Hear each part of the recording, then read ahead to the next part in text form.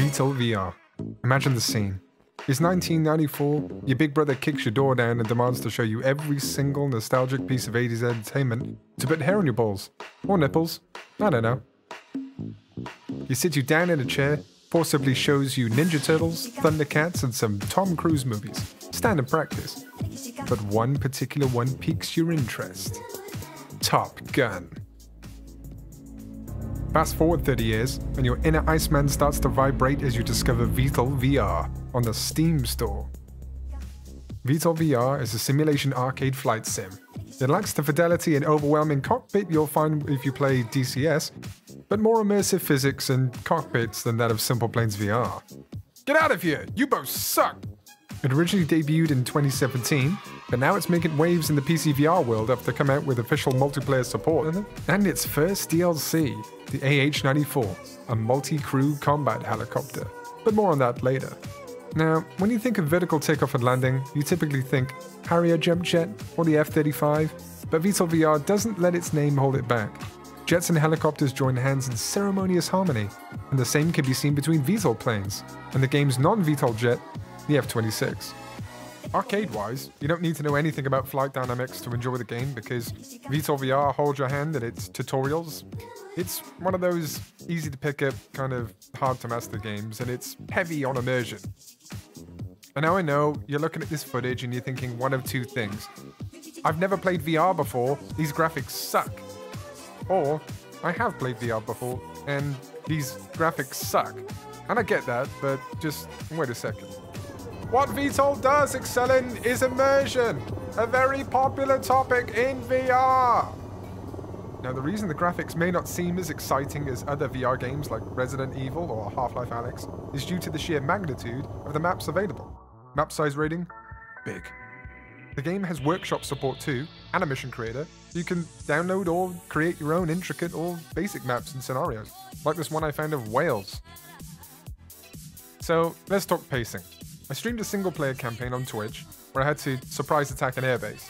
I travelled a sneaky route, or so I thought, approximately 70 nautical miles, which took 25 minutes, to ensure I remained below radar, hashtag stealthy, only to get griefed by patrol jets right at the point I quick saved, meaning I was desperately bound to my fate each time I quick loaded until the game crashed and said, You've had enough, old timer.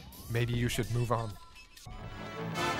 How many times do we have to teach you this lesson, old man? Now, this isn't the same for every scenario I've played, however. Playing this sat down late at night with the gentle hum of the chopper coupled with the raging alarms was more than enough to keep my focus on the task at hand, the instruments, and stirring my nostalgia of watching Top Gun and Airwolf for the first time.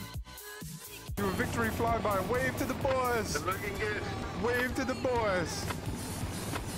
No, with the window open, However, the Milsim aspect is only half of this game, and if you've made it this far, congratulations, it's time to kick back and be an idiot and relax. Oh, my window's open, whoops. Brand if it die. Or in hell, I don't know. Yeah, yeah, here as well. Or air, Yeah. we don't know. I mean, it might be here or hell. This could be hell. So, since release, the biggest boost this game received was multiplayer. It's easy to set up and has built-in scenarios for co-op and PvP. There was a multiplayer mod for this way back when, but I couldn't really get it to work well. And by the time I kind of found VTOL, the multiplayer beta had come out, and you know, I've just followed that route. Do a barrel roll! The co-op scenarios on release version are actually pretty fun. There's an aircraft carrier mission, and talking someone through launching off one is hilarious. And a trial by fire as they fall into the sea. Flap to two. Launch bar down. Uh, let's do a little spin this round here. Alpha 1 1. Locked in. 1. Shields up, Oh. ready to go. Oh, oh god.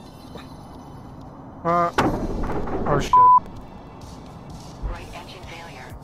The PvP aspect of this game is insane. I haven't joined a single lobby that isn't full of absolute part-timers trying to shoot you out of the sky to prove who's dangerous.